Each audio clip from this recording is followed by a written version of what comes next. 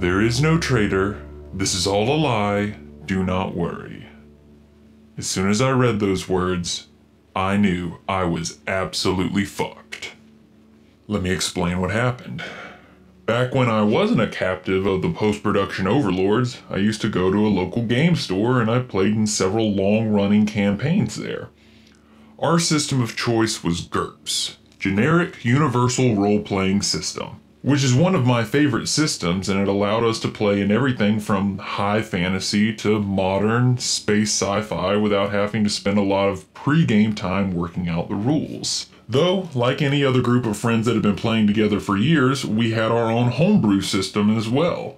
Honestly, I forgot that our rules weren't part of the core rules sometimes, even. It made it so we could run one shot games in an instant without character sheets if enough people were bored at the shop and had nothing to do. Well, we were playing a superhero game that was a callback to another game that we were playing back when the MCU was just hitting phase 2. The owner of the store was the GM, and anytime he ran a game, it was a roller coaster because he was always testing some new mechanic or story hook for bigger games in the future. We each rolled randomly for our powers, and I got intangibility, which is the same powers that Kitty Pryde has. These were not at all powers I was prepared to play with. Super strength, flying, regeneration, teleportation, rock skin, even telepathy I was prepared for but I didn't have anything cool lined up for intangibility. I think my hero name was Spectre, or something dumb like that. None of my superhero names could beat Quarry, which is what I named my rock skin character. Ah, rest in peace, Quarry. You'll never be able to shine like a diamond now.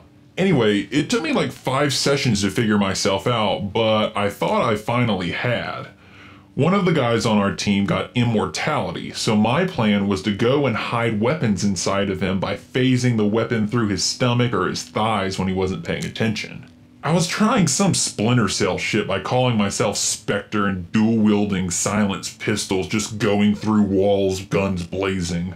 But man, those first few games I played it weird. He ended up coming off as a pacifist and was reluctant to hurt any of the guys we fought at first but I thought I had finally gotten it figured out and I was ready to rock come the seventh or eighth session.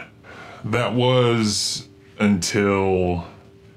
So, our team has basically been working for this AI reborn god named Ares, who had been pulling a punish the corrupt number to get us to trust him. It was enough to settle for most of our party, but our cyborg heavy hitter wasn't having any of it for dessert. I was pretty much on his side, but I was quiet about it. The party voted to work for Ares, though, and he sent us after a lot of the people on everyone's personal hit list anyway. Then, one night after a job, Ares informed us that somebody in our group was a traitor. All throughout the game, there had been hints ambushes on some jobs, a mysterious Illuminati like organization pulling strings of all the gang families, we were basically told that each of us would be given clues to who it was telepathically or something. I don't really remember. I just remember the GM pulling out a piece of paper, tearing off strips for each of us, and writing our clues down for each of us to read privately. He rolled randomly for each of us and chuckled to himself about every other roll menacingly. Then he handed me my note, and I read There is no traitor. This is all a lie do not worry. Shit. I looked over at the GM and I could see him laughing at me with his eyes. I had no way out of this. If I said that I was told there is no traitor and it's all a lie, who would believe me? If I don't say what I was told, well, that just looks suspicious. If I make something up and accuse someone, that's just going to backfire as soon as they prove themselves innocent. The only thing I can think of was to lay low and just continue to reassure everyone that there's nothing to worry about. Everyone else was told a different member of the party was a traitor, and anytime an argument started to get heated, I would just say, Guys, there's nothing to worry about right now. Let's just finish the mission. Eventually, we found some records of names we believed to be members of the Shadow organization we were hunting.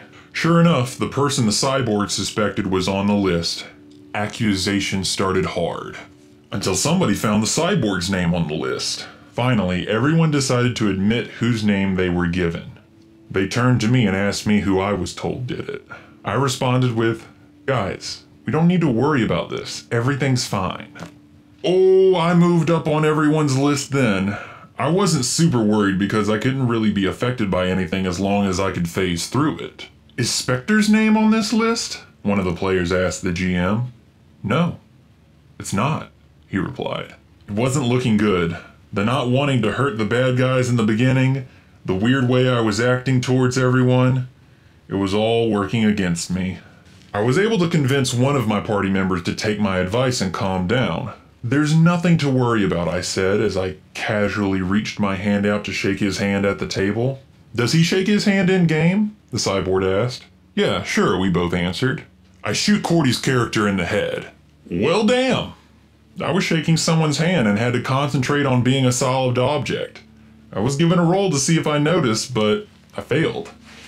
Sure enough, I heard it. That's a hit. Roll a dodge. Failed. 8 damage. Doubled because piercing. Then doubled again for being a headshot. 32 total. Health check. Failed. Knocked unconscious, then executed with another shot. I was in shock. I was expecting to be attacked, but not by the cyborg. I had my eyes on the immortal I was shaking hands with since he and I had been messing around the whole game. My body hit the floor, and Ares smiled. Good. Just what I needed. Spill of innocent blood. The GM had me read my piece of paper to everyone, and sure enough, most of the party got pissed. They ended up vaporizing Ares with some insane beam cannon they got some super genius to install into the cyborg. But now I keep this piece of paper in my dice box to remind me do not worry.